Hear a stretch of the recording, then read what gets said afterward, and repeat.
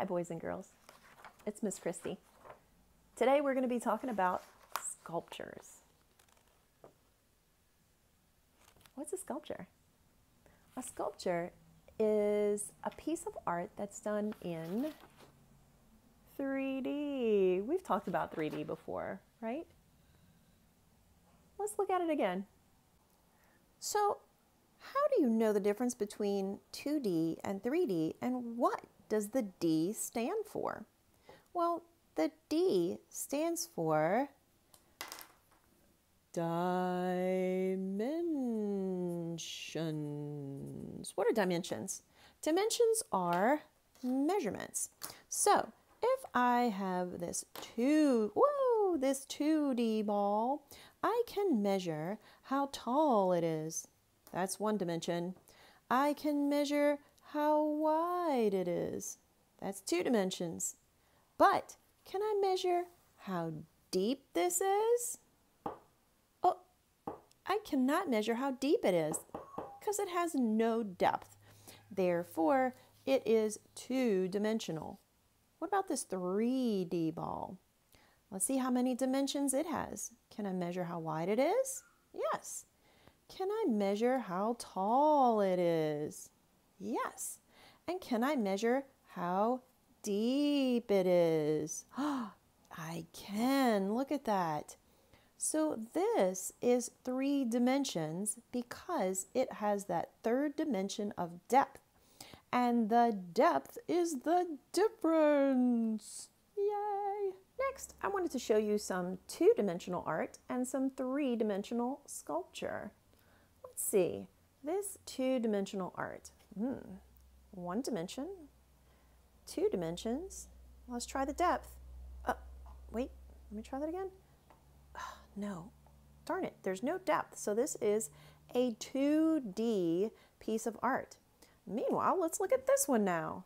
Whoa. All right, let's see. This one has height. Yes. It has width. Yes. It's got two dimensions. What about depth? Let's see what it has depth. This is a three dimensional piece of artwork, also known as a sculpture. For today's art project, I need you to get a few things some boxes or some cardboard. Cardboard's a little bit harder to cut.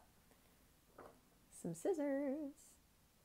Ask your parents for permission, please maybe some caps or things to draw with.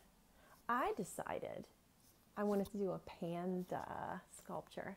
So what I did was I traced a bunch of things, cut them out, and then put them together.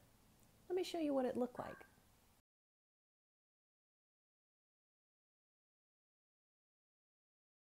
Once you have your parts cut out, the way you put them together is to make a little cut on one side. See that?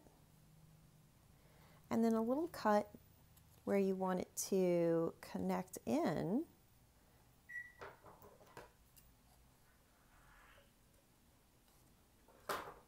Like that.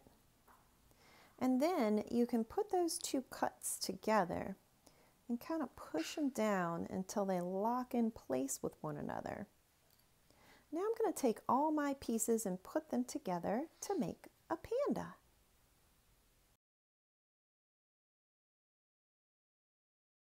And now that I have my panda, I'm going to Google search some images to see what a panda looks like so that I can add some details to make it look more like a panda. Pixie, what do you think? Pixie. Pixie approves. So I've done a Google search and I found out all kind of interesting things about pandas. This is called China highlights. And if you go down, you can see that they have cat-like pupils. They have strong teeth. Did you know that their paws have six fingers? I did not know that. It tells you how tall and heavy pandas are. So much information.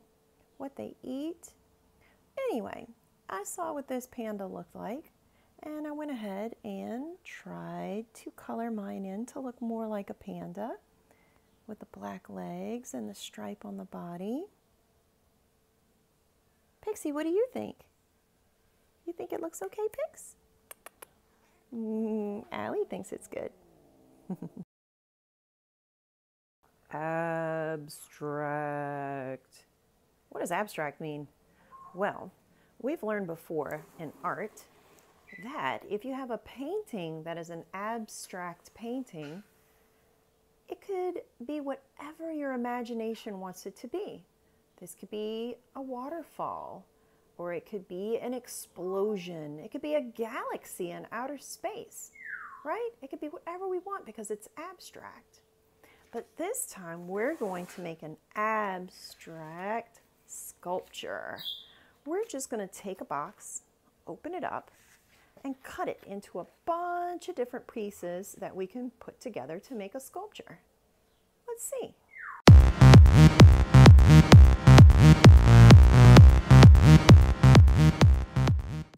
Now that I have a bunch of pieces, I want to start putting it together.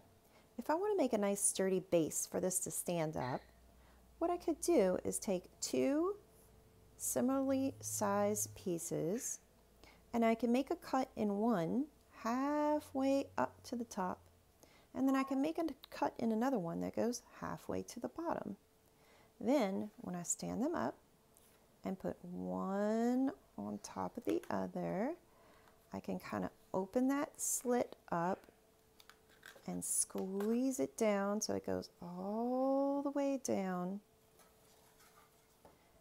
Ah, then it stands up on its own. Let's see. See that? Then I can start adding other pieces to the top of it. So I can take another piece, like maybe this one, and I can cut a little piece. Let's think about how it wants to go. Ooh, maybe I want it to go kind of crooked like that kind of on an angle, on a diagonal. So I would think about which way my cut needs to be. So I'm going to make my cut here on a diagonal. Remember, like the slide on a playground. Now that I have a little cut, I'm going to put that in there. Ah. Then maybe I can put something else on top of here. And I can keep building on that. Let me see how big I can get with my one box that I used for this. Pixie, you approve of these? Yes. Thanks, Pix. So remember that this is an abstract sculpture. And just like an abstract painting, you can think whatever you want it to be. Maybe this is an alien spaceship or something else. What does your imagination say this is? You can also make some kind of an animal or other thing. I can't wait to see what you come up with. Please email me and show me what you did. I love you and I miss you very much. I can't wait to see you again. Bye.